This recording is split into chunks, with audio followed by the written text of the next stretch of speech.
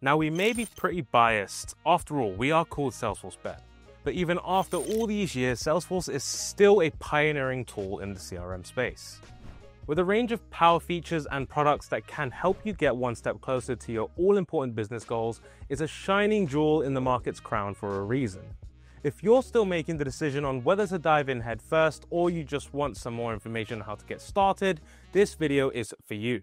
We'll run through everything you need to know about implementing Salesforce, including the things your stakeholders will be thinking about. And a massive thank you to this video sponsor, Mogli. Let's get into it.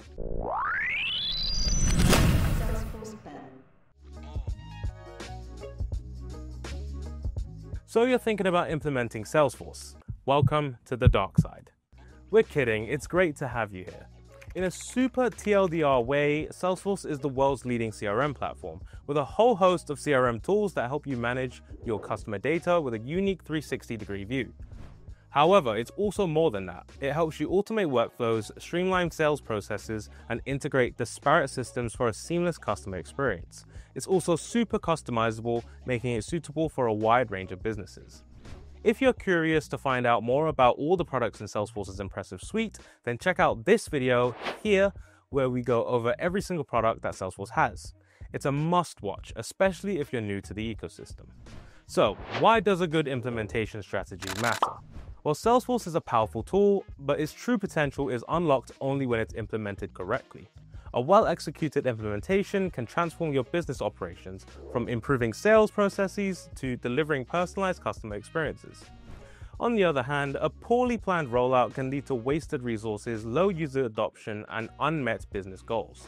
And nobody wants that, especially after promising stakeholders results and forking out money for the tool.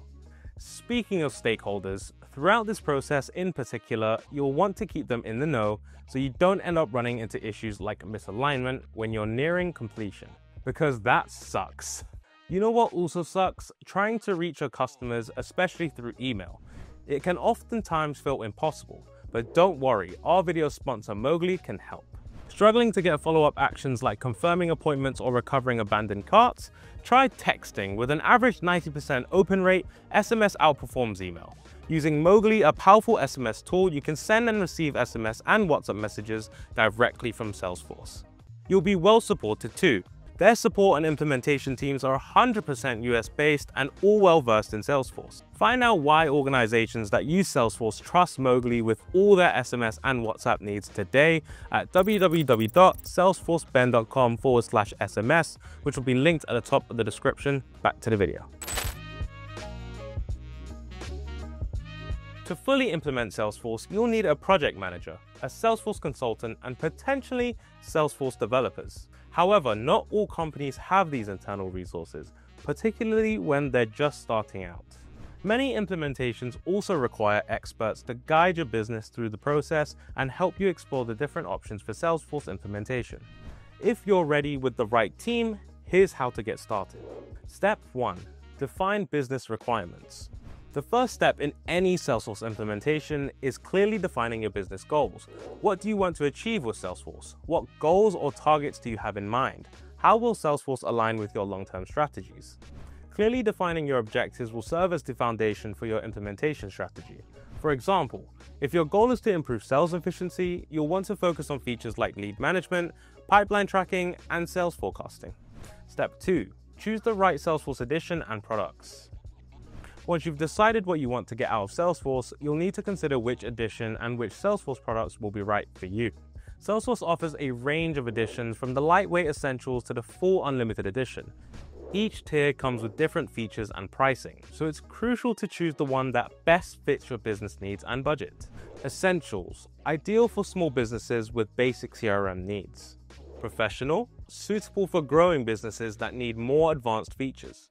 Enterprise, designed for larger organizations with complex processes.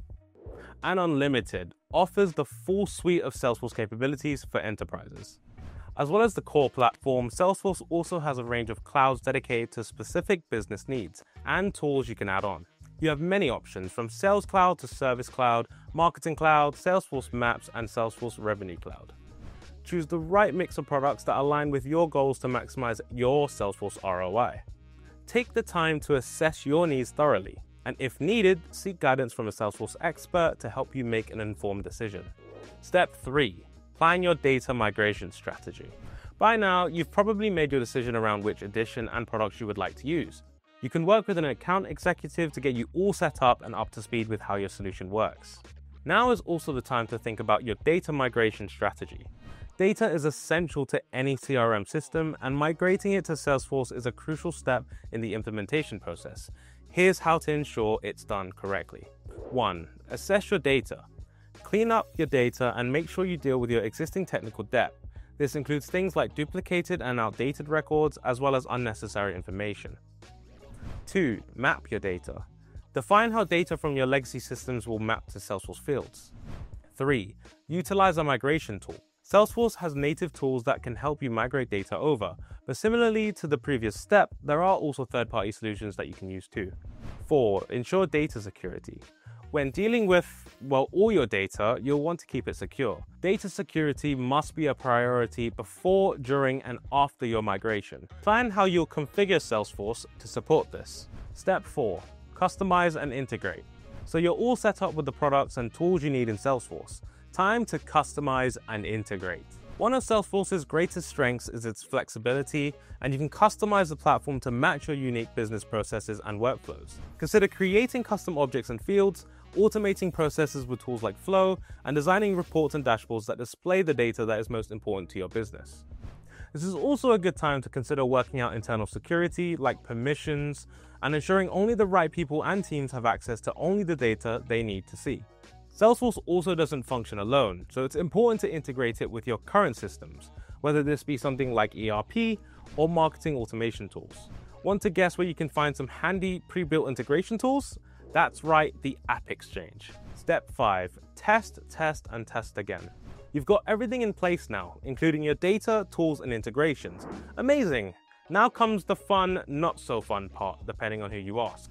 Before going live, perform thorough testing to ensure all customizations and integrations function properly. Salesforce has clones of your environment called sandboxes. This will help you spot potential issues before they affect daily operations. Do not, no matter what you do, skip this step. Step 6. Tackle user training and adoption. Okay, now the site is live and you're raring to go. Time to deliver all this cool functionality to your users. Your users will be at different stages of Salesforce understanding, so it's important to provide training and resources that are tailored to these different users. After all, even the most well-executed Salesforce implementation can only succeed with proper user training. Sandboxes are also great for user training. This is also a good time to monitor how your users get on with the platform, and make sure to continuously update training and offer opportunities for your users and stakeholders to provide feedback. Congrats, you made it through all the steps to secure a strong Salesforce implementation.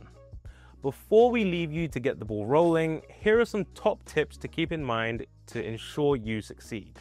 Stay on top of data quality. Clean, organized data is key to getting the most out of Salesforce and ensuring your users don't run into issues down the line. 2. Keep your stakeholders informed throughout the process. The best expert advice I've heard is that everybody involved in the implementation process should be informed from day one and kept informed to avoid misalignment or misunderstandings. Remember, Mogli can help. 3. Listen to your users. If you're sensing resistance or low adoption, communicate with your users. Find out what's wrong and how you can help. It might just save your implementation efforts. Thanks for watching. Now go and try out Salesforce.